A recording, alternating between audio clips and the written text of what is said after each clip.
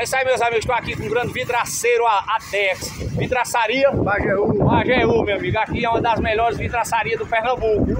Procura essa fera breva aqui, cabo bom, honesto e eficiente. Chama. E um dos melhores preços, né, Atex? Chama, com certeza. Bota furando. Bota.